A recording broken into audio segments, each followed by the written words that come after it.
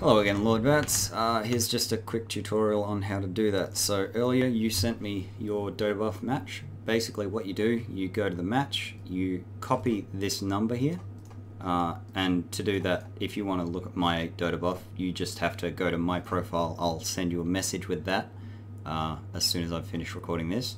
Pick any match you want. Uh, let's go. Wait, I played Monkey King. Sure, let's have a look at the Monkey King game I played. I don't remember playing Monkey King. Alright, you copy this number, you open up Dota, you go to watch, replays, search for match IDs, and then you paste in that number and hit search.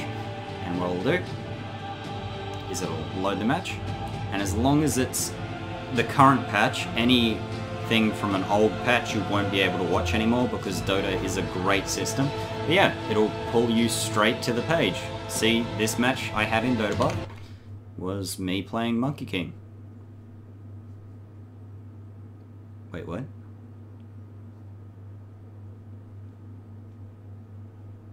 Oh, there.